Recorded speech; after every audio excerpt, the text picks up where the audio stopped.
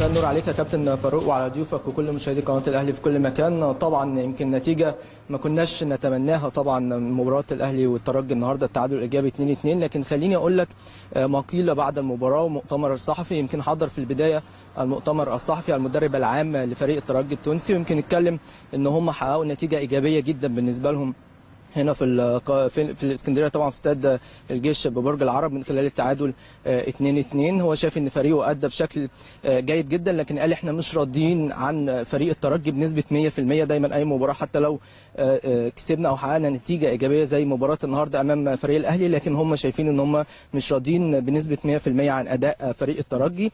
الشكل اللي هو ممكن يلعبوا بيه في مباراة العودة هو قال إحنا لسه هنشوف لسه هنفكر هنلعب الشكل بالنسبة لنا هيكون إزاي في مباراة العودة. قال إن المباراة أو النتيجة لسه ما انتهتش التأهل لسه ما اتحسمش بالنسبة لهم كفريق الترجي لكن قال إن هم إن شاء الله خلال مباراة العودة في استاد رادس هم قادرين إن هم يحققوا النتيجة المرجوة من خلال من بالنسبة لهم. طبعا إن هم يتاهلوا يتأهلوا لدور نصف النهائي. ده كان ملخص كلام المدرب العام الخاص بفريق الترجي التونسي. لكن في المقابل كابتن حسام البدري حضر طبعا مؤتمر الصحفي واتكلم عن المباراة. قال طبعا هو راضي عن أداء الفريق لكن هو شايف إن النتيجة كانت عكسية بالنسبة له مش دي النتيجة اللي كان بيتمناها خصوصا في ظل الأداء الجيد اللي أداه لاعيبه النادي الأهلي النهارده. قال إن الأهداف اللي دخلت مرمى النادي الأهلي يمكن أهداف كلها من أخطاء. قال تحديد عن الهدف الأول إن تمركز الدفاعي بالنسبة لمدافعي النادي الأهلي أو بالنسبة للاعيبه النادي الأهلي خلال الضربة الركنية. يمكن ما كانش جيد وده كان أحد أسباب الهدف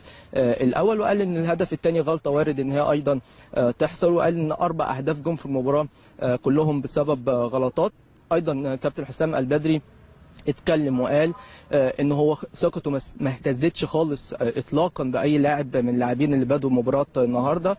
قال إن هو طبعا عنده ثقة كبيرة جدا في لاعبي النادي الأهلي بعد انتهاء المباراة مباشرة. دخل غرف خلع الملابس وقال للاعبين إحنا عندنا فرصة كبيرة جدا للتأهل للدور المقبل من دوري أبطال أفريقيا من خلال الفوز على فريق الترجي في رادس قال إن إحنا فرقتنا أحسن وقال للعيبة الكلام ده بالظبط. قال إحنا فريقنا أفضل بكتير فريقنا ادينا النهارده أداء جيد جدا. هم استغلوا بعض الأخطاء الفردية اللي كان المفروض النادي الأهلي طبعا ما يقعش فيها خلال المباراة. قال أيضا إن هو قال خلال المؤتمر الصحفي بالأمس واللي هو سبق مباراة اليوم قال إن النتيجة كده كده المباراة مش هتحسم من أول طبعا يوم أو من هنا من استاد الجيش. طبعا مش هتكون نتيجة المباراة حسمت. قال إن النتيجة هتحسم خلال مباراة العودة في تونس. ايا كانت نتيجة النهارده إيه؟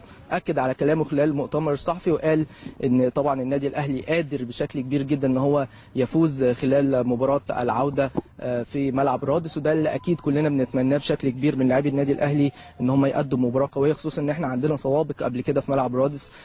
طبعا في 2006 يمكن تعادلنا هنا واحد واحد قدرنا نفوز بهدف أبو تريكة الشهير هناك في ملعب رادس وخدنا البطولة أيضا في 2012 النادي الأهلي تعادل مع الترجي واحد واحد أيضا وقدر إن هو يفوز في مباراة العودة 2 1 وكان طبعا تحت قيادة الكابتن حسام أيضا لكن هو بشكل عام كابتن حسام راضي على أداء الفريق وقال إن شاء الله إن إحنا قادرين بشكل كبير إن شاء الله ان إحنا نواصل مشوارنا الافريقي من خلال التأهل من ملعب رادس ومباراة العودة أمام فريق الترجي. طبعا كان ملخص كلام كابتن حسام البدري في المؤتمر الصحفي. خليني أقول لك إن بعد لحظات هيكون معاك لقاء طبعا مع كابتن فوزي البنزرتي المدير الفني لفريق الترجي التونسي. وفي المقابل إن شاء الله أيضا هيكون معاك المؤتمر الصحفي الكامل بالنسبة لكابتن حسام البدري يا كابتن فاروق.